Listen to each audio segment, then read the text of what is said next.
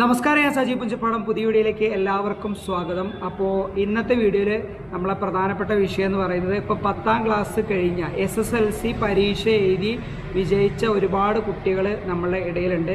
കേരളത്തിലെ റിസൾട്ട് വന്നപ്പോൾ ഏകദേശം തൊണ്ണൂറ്റി ഒമ്പത് പോയിന്റ് രണ്ട് ആറാണ് വിജയ ശതമാനം എന്ന് പറയുന്നത്. കഴിഞ്ഞ പ്രാവശ്യത്തെ അപേക്ഷിച്ച് നോക്കുമ്പോൾ ഏകദേശം ഏകദേശം ഒരേപോലെ ഈക്വൽ ആയിട്ടുള്ള ഒരു അവസ്ഥയിലാണ് ഇപ്പോൾ നില ഈ പ്രാവശ്യത്തെ റിസൾട്ട് എന്ന് പറയുന്നത്. അതിൽ എ പ്ലസ് കിട്ടിയ ആളുകളുടെ ലക്ഷം കഴിഞ്ഞ പ്രാവശ്യം ലക്ഷം കടന്നുവെങ്കിൽ ഈ പ്രാവശ്യം ഏകദേശം നാൽപ്പത്തിനാലായിരം കുട്ടികളാണ് എ പ്ലസ് നാൽപ്പത്തിനാലായിരത്തിൽ അപ്പുറം കുട്ടികളാണ് എ പ്ലസ് കിട്ടിയിട്ടുണ്ടായിരുന്നത്. അപ്പോൾ റിസൾട്ട് നോക്കുമ്പോൾ നല്ലൊരു റിസൾട്ട് ആയിരുന്നു. അതേപോലെ തന്നെ കഴിഞ്ഞ പ്രാവശ്യത്തെ കൊറോണ അപേക്ഷിച്ച് നോക്കുമ്പോൾ ചെറിയൊരു വ്യത്യാസം ഉണ്ടായിരുന്നു. എന്തായാലും മൊത്തത്തിൽ നല്ലൊരു റിസൾട്ടാണ് കാണുന്നത്. അപ്പോൾ ഇതിൽ പ്രധാനപ്പെട്ട പ്രശ്നം എന്ന് പറയുന്നത് വിദ്യാർത്ഥികളെ സംബന്ധിച്ച് ഈ പത്താം ക്ലാസ് കഴിഞ്ഞപ്പോൾ ഒന്ന് മുതൽ പത്ത് വരെ പ്രധാനപ്പെട്ട പ്രശ്നങ്ങളില്ല. വിദ്യാർത്ഥികളെ സംബന്ധിച്ച് ഒമ്പത് കഴിഞ്ഞാൽ എട്ട് കഴിഞ്ഞാൽ ഒമ്പതിലേക്ക് ഒമ്പത് കഴിഞ്ഞാൽ പത്തിലേക്ക് എന്നുള്ളൊരു ഓപ്ഷൻ ഉണ്ട്. ഇവിടെ പ്ലസ് വണ്ണിലേക്ക് വരുമ്പോൾ കുട്ടികളുടെ സബ്ജക്റ്റുകൾ മാറുന്നുണ്ട് താല്പര്യങ്ങൾ മാറുന്നുണ്ട് അതേപോലെ തന്നെ സ്ട്രീമുകൾ മാറുന്നുണ്ട്. ഗവൺമെന്റ് അതിനനുസരിച്ചാണ് പ്ലസ് വൺ പ്ലസ് ടു എന്നുള്ളൊരു സംവിധാനം ഇവിടെ നമ്മൾക്ക് എന്ത് ചെയ്തുള്ളത് കൊണ്ടുവന്നിട്ടുള്ളത്. അതിൽ സി ബി എസ് ഇ ഉണ്ട് അതേപോലെ തന്നെ സ്റ്റേറ്റ് സിലബസ് ഉണ്ട്. സി ബി എസിലേക്ക് പോവാം സ്റ്റേറ്റ് സിലബസിലേക്ക് പോവാം. ഏതിലേക്ക് വേണമെങ്കിലും കുട്ടികൾക്ക് പോകാനുള്ള ഓപ്ഷൻ ഉണ്ട്. സി ബി എസ് ഇ ആണെങ്കിൽ ഇംഗ്ലീഷ് മീഡിയം എന്നുള്ള രീതിയിലേക്കാണ് അവിടെ പോകുന്നത്. അതേപോലെ സ്റ്റേറ്റ് സിലബസ് ആണെങ്കിൽ നമ്മളെ ഗവൺമെന്റിന്റെ രീതികൾക്കനുസരിച്ച് ഗവൺമെന്റ് പറയുന്ന അനുസരിച്ചുള്ള സ്ട്രീമുകളും അതേപോലെ തന്നെ കോഴ്സുകളുമാണ് അവിടെ വരുന്നത്. അതിൽ ഗവൺമെന്റ് സ്കൂളുകൾ അതേപോലെ തന്നെ എയ്ഡഡ് സ്കൂളുകളിൽ അതേപോലെ തന്നെ പ്രൈവറ്റ് സ്കൂളുകൾ അൺഎയ്ഡഡ് അൺഎയ്ഡഡ് മേഖലയിലുള്ള സ്കൂളുകൾ അതേപോലെ തന്നെ പ്രൈവറ്റ് ഈ നാല് സെക്ഷനാണ് അതിൽ വരുന്നത്. ഒന്നാമത്തേന്ന് പറയുന്നത് ഗവൺമെന്റ് അതേപോലെ തന്നെ രണ്ടാമത്തേലും എയ്ഡഡ് സെക്ടറുകൾ അതേപോലെ തന്നെ അൺഎയ്ഡഡ് സെക്ടറുകൾ പ്രൈവറ്റ് സെക്ടറുകൾ പാരൽ കോളേജ് പോലുള്ള കോളേജുകൾ അവിടെ ഉൾപ്പെടുത്തുന്നത് അപ്പോൾ ഇതിൽ വിദ്യാർത്ഥികളെ സംബന്ധിച്ച് പ്രധാനപ്പെട്ട ഒരു പ്രശ്നം എന്ന് പറയുന്നത് ഏത് സ്ട്രീം എടുക്കും എന്നുള്ളതാണ്. ഏതാണ് ഏത് സ്ട്രീം എടുക്കും ഏത് കോഴ്സ് എടുക്കും? സയൻസ് എടുക്കണോ? അതേപോലെ തന്നെ കൊമേഴ്സ് എടുക്കണോ? ഹ്യൂമാനിറ്റീസ് എടുക്കണോ? എന്നുള്ളതാണ് പ്രധാനപ്പെട്ട എല്ലാ വിദ്യാർത്ഥികളുടെയും എല്ലാ കുട്ടികളുടെയും പ്രധാനപ്പെട്ട പ്രശ്നം എന്ന് പറയുന്നത്. അപ്പോൾ അപ്പോൾ ഞാൻ പഠിപ്പിക്കുന്ന സ്ഥാപനത്തിലാണെങ്കിൽ ഇവിടെ പ്ലസ് വൺ പ്ലസ് ടു ആണുള്ളത്. കൊമേഴ്സ് ഹ്യൂമാനിറ്റീസ് ആണുള്ളത്. അതിനെക്കുറിച്ച് വിശദമായിട്ട് നമുക്ക് സുഖമായിട്ട് പറയാനും കഴിയും. കാരണം കുട്ടികൾക്ക് ക്ലാസ് എടുക്കുന്നതാണ്. എന്നാൽ സയൻസ് എടുക്കുന്ന ഒരുപാട് വിദ്യാർത്ഥികൾക്ക് സയൻസ് ഇഷ്ടപ്പെടുന്ന ഒരുപാട് വിദ്യാർത്ഥികളുണ്ടാവും. അപ്പോൾ ഈ വർഷത്തെ റിസൾട്ട് പ്രകാരം പുറത്തിറങ്ങിയ വിജയിച്ച കുട്ടികളെ സംബന്ധിച്ച് അവർക്ക് സയൻസ് എടുക്കണോ കൊമേഴ്സ് എടുക്കണോ ഹ്യൂമാനിറ്റീസ് എടുക്കണോ എന്നുള്ള ഒരു പ്രധാനപ്പെട്ട പ്രശ്നം ഉണ്ടാവും ചില ആളുകൾ എന്ത് ചെയ്യും? ഇത് ജയിച്ചല്ലേ നല്ല മാർക്കില്ലേ അതുകൊണ്ട് തന്നെ സയൻസ് എടുത്ത് കളയാം. അതിലും കമ്പ്യൂട്ടർ സയൻസ് എടുക്കാം ബയോളജി സയൻസ് എടുക്കാമെന്ന് വിചാരിക്കുന്ന വിദ്യാർത്ഥികളുണ്ടാവും. അതേപോലെ തന്നെ കൊമേഴ്സ് കൊമേഴ്സ് കുറച്ച് കുഴപ്പമില്ല. നമുക്ക് ഇങ്ങനെ അക്കൗണ്ടന്റ് ആ രീതിയിലേക്ക് പോകാൻ വേണ്ടിയിട്ട് കൊമേഴ്സ് എടുക്കാമെന്ന് വിചാരിക്കുന്ന വിദ്യാർത്ഥികളുണ്ടാവും ഹ്യൂമാനിറ്റീസ് കുറച്ച് എളുപ്പമല്ലേ? കുറേ വായിച്ചാൽ മതി പരീക്ഷ എഴുതിയാൽ പോരെ എന്ന് വിചാരിക്കുന്ന വിദ്യാർത്ഥികളുണ്ടാവും. പക്ഷേ ഇവിടുത്തെ പ്രധാനപ്പെട്ട പ്രശ്നം എന്താണെന്ന് വെച്ച് കഴിഞ്ഞാൽ താല്പര്യമാണ് പ്രധാനപ്പെട്ട ഒരു കാര്യം. വിദ്യാർത്ഥികളെ സംബന്ധിച്ച് ഏത് സ്ട്രീമാണ് ഏത് കോഴ്സാണ് അവർക്ക് വേണ്ടത് എന്നുള്ളതാണ് ഇവിടെ പ്രധാനപ്പെട്ട വിഷയമായിട്ട് വരുന്നത്.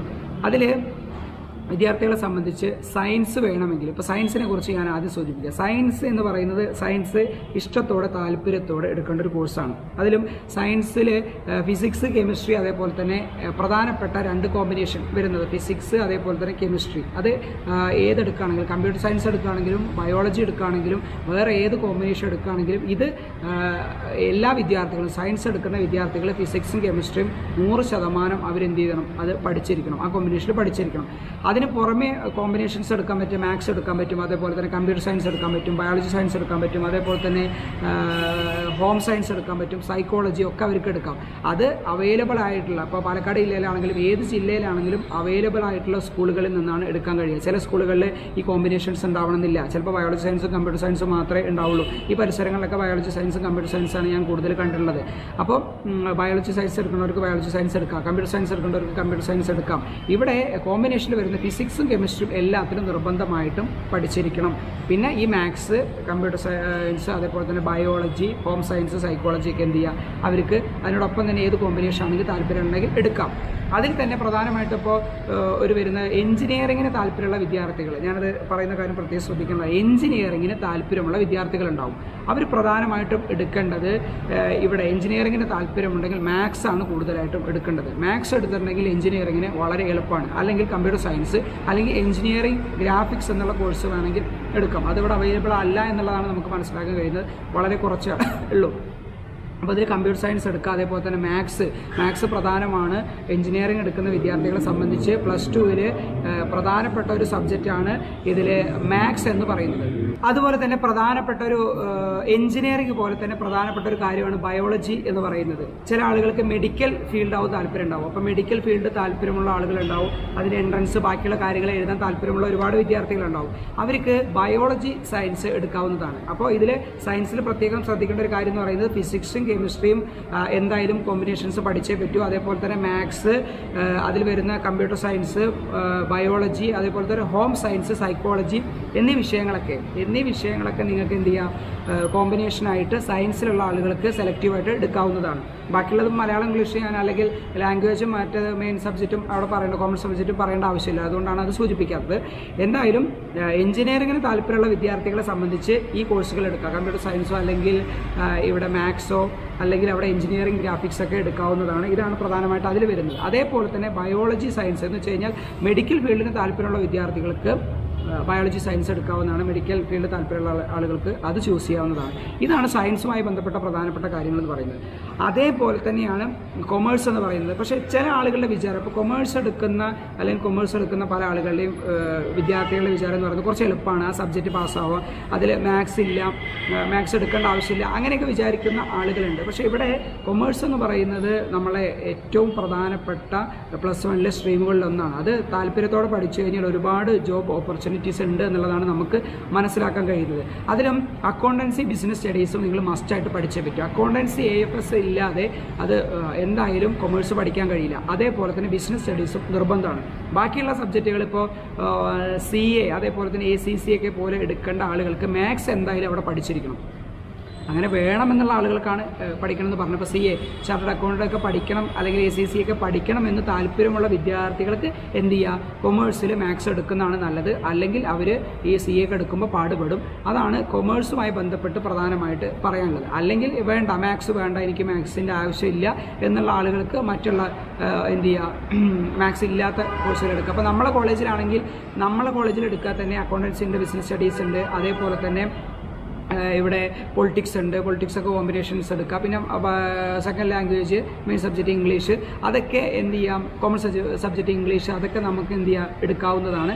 അപ്പോൾ ആ രീതിയിലും വേണമെങ്കിൽ എന്ത് ചെയ്യാം? എടുക്കാം. അല്ലെങ്കിൽ കമ്പ്യൂട്ടർ അപ്ലിക്കേഷൻ കമ്പ്യൂട്ടർ ആപ്ലിക്കേഷൻ കോമേഴ്സിലാണെങ്കിൽ കമ്പ്യൂട്ടർ അപ്ലിക്കേഷൻ അവിടെ എടുക്കാവുന്നതാണ്. അപ്പോൾ ഈ താല്പര്യത്തിനനുസരിച്ച് കൊമേഴ്സിൽ മാത്സ് വേണമെങ്കിൽ മാത്സ് പഠിച്ചാൽ C A S C C A പോലുള്ളത് എടുക്കാൻ മാത്സ് ഇല്ലാതെയും കൊമേഴ്സ് പഠിക്കാവുന്നതാണ്. അത് ഓരോരുത്തരുടെ താല്പര്യം പോലെ ഇരിക്കും. അപ്പോൾ സയൻസ് ഞാൻ പറഞ്ഞു അതേപോലെ തന്നെ കൊമേഴ്സും പറഞ്ഞു. ഇനിയുള്ള ഒരു ഓപ്ഷൻ എന്ന് പറയുന്നത് ഹ്യൂമാനിറ്റീസ് ആണ്. ഹ്യൂമാനിറ്റീസ് പല ആളുകളെ സംബന്ധിച്ച് അവരുടെ വിചാരം എന്ന് പറയുന്നത് എളുപ്പത്തിൽ വായിച്ച് ജയിച്ച് പഠിക്കാവുന്ന ഒരു ഭാഗം ഉള്ളതാണ്. പക്ഷേ അതിനപ്പുറമായിട്ട് ഒരുപാട് ജോബ് ഓപ്പർച്യൂണിറ്റീസും എല്ലാ ഗവൺമെന്റ് സെക്ടറിലും ഇത്തരം ജനറൽ നോളേജുള്ള ഹ്യൂമാനിറ്റീസ് പഠിച്ച വിദ്യാർത്ഥികളെ ആവശ്യമുള്ളൊരു കാലഘട്ടത്തിലാണ്. ഇപ്പോൾ ഹ്യൂമാനിറ്റീസ് പഠിച്ച ആളുകൾ പല ആളുകൾ ഐ എസും അതേപോലെ തന്നെ ഐ പി എസും മറ്റുള്ള പൊസിഷനിലൊക്കെ എത്തുന്നത് നമ്മൾ കാണുന്നതാണ്.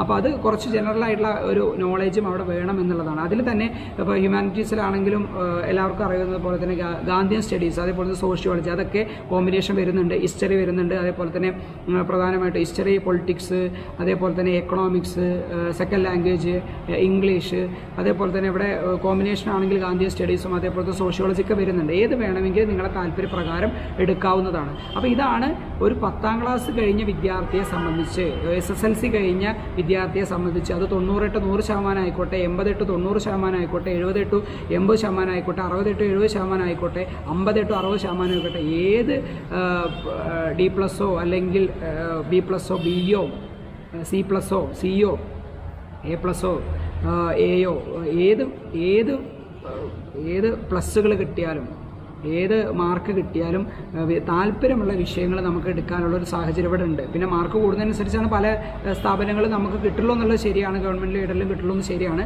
എന്തായാലും താല്പര്യമുള്ള വിദ്യാർത്ഥികൾ സയൻസ് ആണെങ്കിൽ സയൻസ് എടുക്കുക. കൊമേഴ്സ് ആണെങ്കിൽ കൊമേഴ്സ് ബന്ധപ്പെട്ട സബ്ജക്റ്റ് എടുക്കുക. അതേപോലെ തന്നെ ഹ്യൂമാനിറ്റീസ് ആണെങ്കിൽ ചരിത്രപരമായിട്ടുള്ള കാര്യങ്ങളാണ് ഹ്യൂമാനിറ്റീസ് എടുക്കാം.